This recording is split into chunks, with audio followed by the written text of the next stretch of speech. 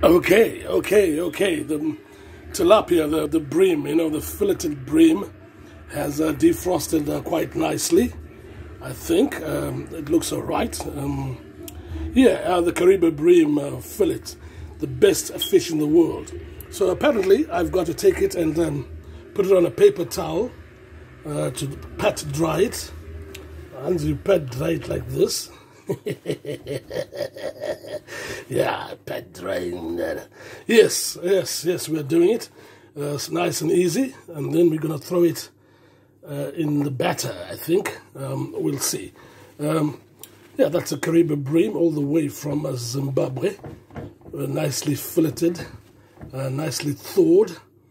And then we're going to dip it in my special beer batter that I made earlier on. You can scroll up um, the thread to check it up and um, to check it out how I made the batter. I hope everything comes out good. This one seems a little bit dodgy, okay? Yeah, so I'm going to continue uh, that uh, process of pat drying it using a paper towel.